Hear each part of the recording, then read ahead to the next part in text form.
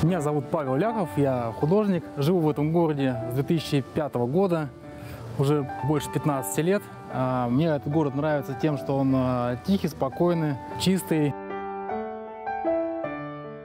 Город повлиял на мое становление как спортсмена э, и с точки зрения велосипедного спорта, и с точки зрения лыжного спорта, потому что тут доступен лес, можно кататься вдоль канала. В целом располагает именно атмосфера для такого вот здо- здоровой спортивной жизни. Долгопрудный значительно повлиял на мою художественную карьеру в современном искусстве. Здесь э, были созданы мои, наверное, такие самые культовые знаковые произведения. Я в этом парке рисовал э, большую работу для фестиваля «Фарш». Это большое полотно, примерно где-то 5 на 6,5 метров, а, вот, которое в обычной студии нарисовать было невозможно.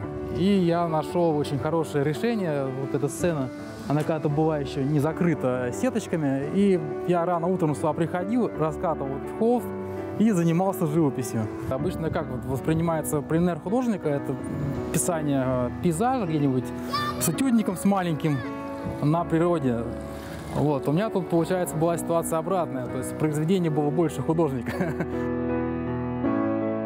Ну, мы вообще с женой постоянно, вот, почти каждый вечер делаем об- обход этого города, гуляем по парку по одному, по второму. Прогулочка вечерняя, может там 10 километров, 15 продлиться. Один парк пройдешь, второй, третий, так уже. И хорошо нагулялись, идем домой.